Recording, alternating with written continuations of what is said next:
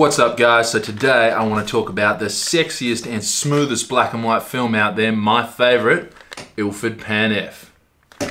Let's jump into it.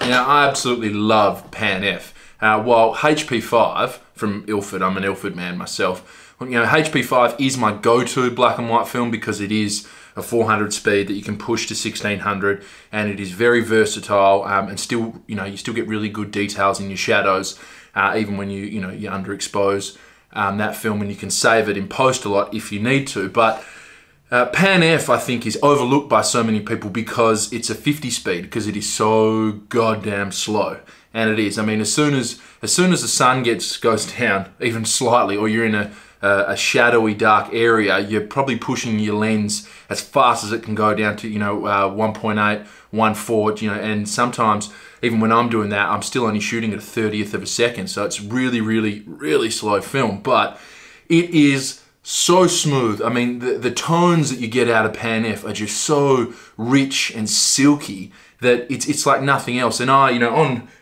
on my laptop here in Lightroom, I actually uh, paid for and downloaded a while back the, the Mastin Labs uh, film presets. Um, and I actually put a link in the description to, to their website. They've got some great stuff. And they have an Ilford pack.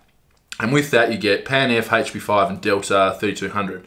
Um, and the Pan F preset for, for setting, you know, your digital black and white files is great, but it doesn't compare to film Pan F shot on 35 or medium format. Like I've tried and I've tried tweaking photos, and I just can't get them even remotely close. So that's why I love to shoot this film when I can. Um, most of the time, obviously, it needs to be a pretty sunny day, or um, I'll try and shoot this film if I know I'm, I'm, going out for the day and I'm probably going to shoot all 36 frames because I don't like to waste film. Um, you know, when I develop it, I don't like to, you know, it's, it's not a film, I should say, that you want to you kind of want to leave in your camera because you know as soon as it gets dark, you're going to be quite restricted. Um, and if you want to change to something else, obviously you're going to waste the roll by you know uh, reeling it back in.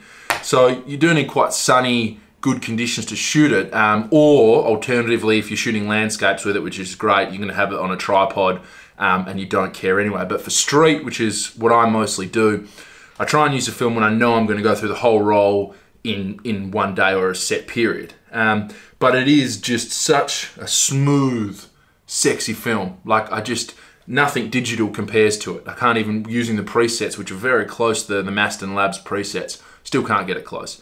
So what we're going to do today is, excuse me, we're going to jump into the computer and I'll show you guys some of my favorite photos I've taken with Pan F and we'll talk a bit about them just so you guys can see for yourself um, about the film and from, from the photos might be something you want to shoot. So let's dive into the computer. Here we go. Start with this one. So this was shot on one of the ferries in Sydney, um, and I exposed for uh, you know for, for the woman you see there sitting behind there. So I exposed for the lighter areas because I wanted to black out everything else. But you can just see straight off the bat like how smooth the the grey tones and the blacks. I mean the blacks, you know, they're completely crushed here, but I was trying to do that. But if you look at the you know your greyish tones and white tones they're just so smooth. And even the detail um, this film captures being it's a 50 speed it is very fine grain and you get beautiful details. So uh, next one this is at the university where I work and that's actually my girlfriend M um, behind there and they've got um, peacocks that live down there. So I shot this shot because you know we had a beautiful looking peacock you know, silhouetted against a bin filled with rubbish.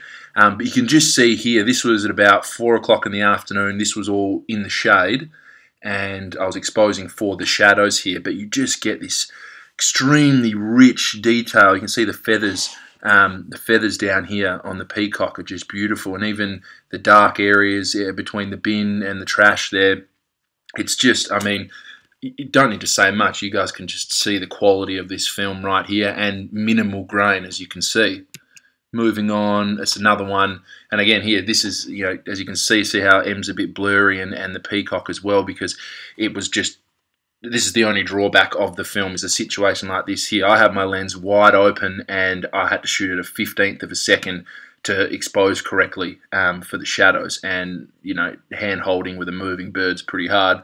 Um, but I still really like this photo. Just you can see, you know, the black details between all the limestone bricks.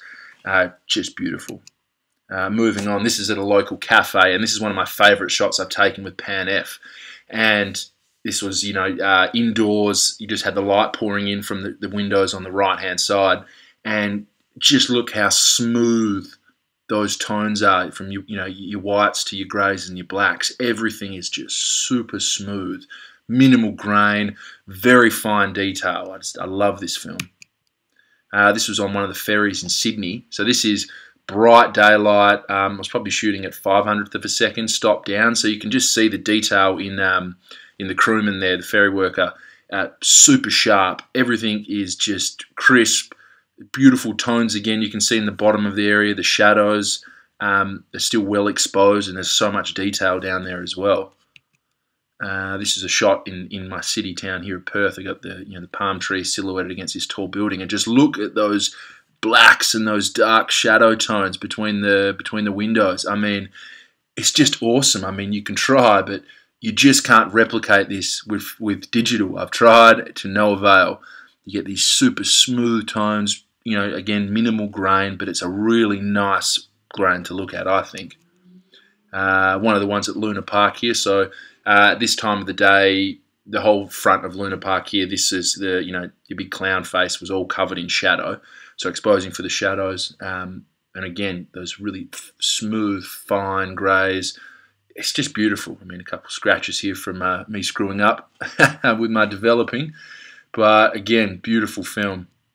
Uh, this was in my city here Perth. Now, this was, you know, I was down an alleyway looking up at an apartment building um, the vignette I added in Lightroom, the, um, you know, just it's it's not my camera lens. I actually added that vignette to extenuate, extenuate the um, the buildings. But again, you can just see all those beautiful tones. I mean, look on the. I mean, the, from memory, the buildings here was you know they were bright colours. It was red and yellow and blue and you know all these different uh, tiled panels here were different colours. But just the way that those different colours give you those different types of, of grey shadowy areas is just beautiful uh, merry-go-round when we were at Luna Park again in Sydney. I mean, quite a contrasting situation, but the film holds up really, really well.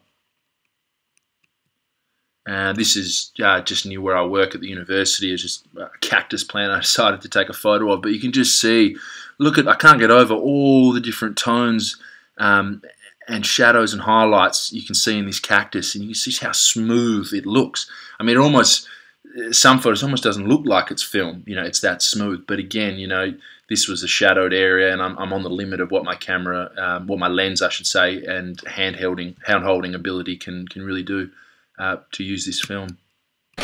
So there you go, guys. Uh, Ilford Pan F. So I, I, I just absolutely love everything about this film. I mean, if you can deal with having such a slow film um, and you've got some really good light to work with or you're going to be shooting on a tripod, I cannot recommend this film enough. It's definitely one I started shooting that, that really, really kindled my love for film photography because of the results I was getting were just so beautiful and just nothing that digital can even compare to. And I mean, you shoot this on medium format and wow, I mean, I've, I've seen some people's photos. I've got a roll uh, uh, somewhere in the kitchen that I've got to develop that I shot on a friend's um, 645 and I can't wait for to get those photos up as well. But I cannot recommend this film enough. So go out, buy yourself some, shoot it. Tell me what you think. Uh, hit the comments below. Have you guys, you know, shot Pan F before? Do you love it as much as me? I'd, you know, I'd love to know that I, am not alone in, on this one. So. Until next time, guys, thanks for tuning in to another episode of Shoots with Coops. Happy shooting, and I'll see you next time. Peace.